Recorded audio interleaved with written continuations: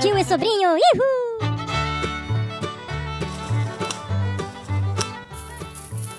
Tarde! Tarde! O que que tá inventando? Pegando uns gravetos? Ô, fazendo Ah, o fogão é grande, né? Uma leinha pra começar É, o fogo, bom, é bom, né? Mato bonito aí, né? Aham. Muita caça nesse mato, será?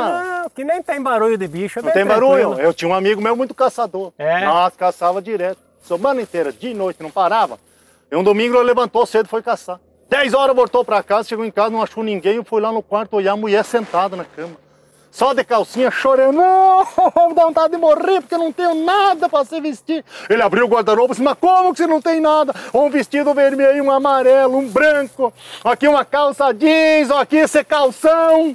E o compadre Osvaldo.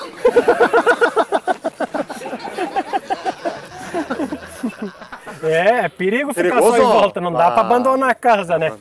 Mas já que comentamos esse negócio de ficar só fora de casa, você conhece aqueles que quando a gente fala que conhece um lugar, ele também conhece e já teve lá, né? Eu conheço e tem lá um lá perto de nós. Mas esse dia eu falei pra ele, eu digo, eu teve lá em São Paulo, na beira-mar, se conhece, eu pesquei lá.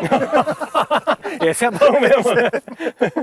é, outro dia comentando lá com meu vizinho, eu tava com o primo dele passeando na casa.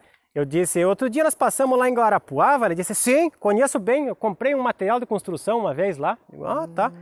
Daí fizemos um show lá em Camacuã, deu muito bom. Conheço Camacuã também, peguei um cimento lá. Nossa, digo, esse homem viaja, né? Eu comentei outro dia ali em São Miguel do Oeste, eu estava passando, ele disse, sim, São Miguel eu conheço, tem um primo lá, conheço tudo, roda, não tem lugar que não conheço.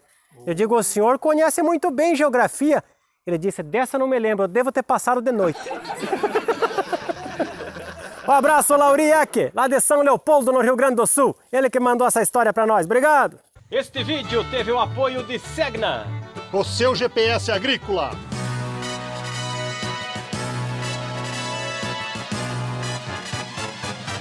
Tio e sobrinho, ihu!